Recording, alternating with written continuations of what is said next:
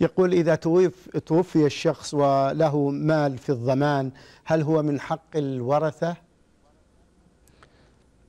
إذا كان هذا تراجع فيه الضمان يراجع فيه الضمان ويتبع النظام فإذا كان الضمان ينتهي بوفاة الشخص وليس له استحقاق فإنه ليس للورثة شيء أما إذا كان آه، له ضمان متأخر وهو مستحق له في حياته ثم تأخر صرفه ثم مات فهذا حق له وينتقل إلى ورثته. نعم.